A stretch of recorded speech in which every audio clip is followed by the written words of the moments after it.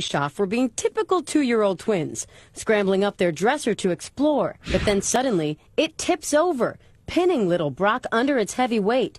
You can see Brock struggling and screaming, but Bodie jumps right into action. He immediately tries to push the dresser, but can't get it to move. Then he tries pushing from the other side, but the heavy dresser still won't budge. He surveys the situation and decides to give lifting a shot, but that doesn't work either.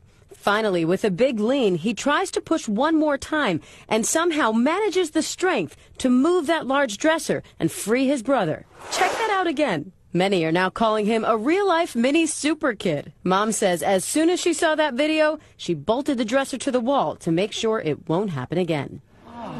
And the parents say they posted this video to Facebook to reinforce that message that anchoring furniture is so important. Luckily, in this case, the boys are totally fine, but I'm guessing little Bodie is going to be holding this over his brother Frank.